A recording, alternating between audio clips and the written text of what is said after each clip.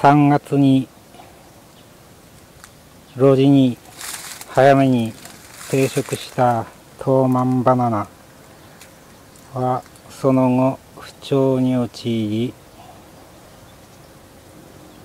5月になってから家計の切り下げカットバックカットダウンを繰り返してこの辺まで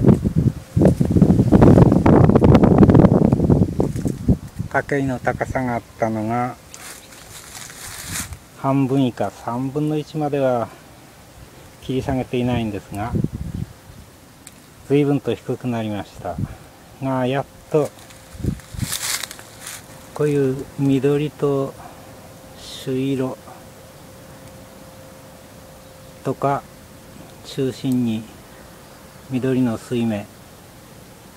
が出てきたらまあ大体は大丈夫ですね。まあ相当なデグレードですね。サンルームで育っていた時には信用を出してそれがサンルームの天井に使えていたぐらいですから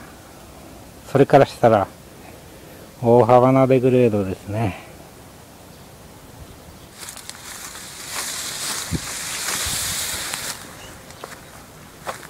それからフロリダへ日本ですね。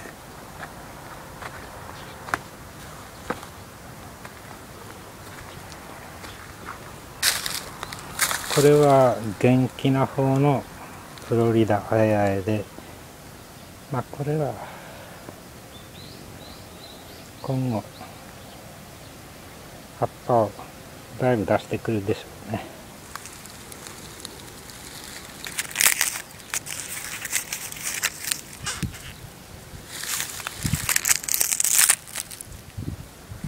これは大丈夫でしょう。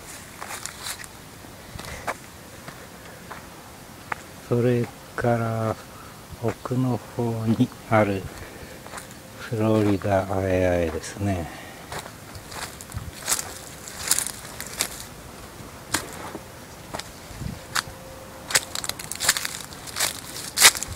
こちらの方はまあどうかなと思っていたんですがなんとかかんとか生き延びそうな感じはしてきましたね。ちょっと生命力っていうんですかね。成長する力は弱いですね。さっきのフロリダアヤエと、まあ、品種は同じか金字種金慶種だとは思うんですが生命力はこちらの方がだいぶ弱いですね。まああえあえとして販売されていてもフロリダであることが往々にしてありますしね。まあこれとさっきのフロリダあえあえとそれからトーマンとまあある程度懸念されていたものがなんとかかんとか5月になってから生きていくのではないかと。いう見込みが読めましたのでまあほっとしていますね。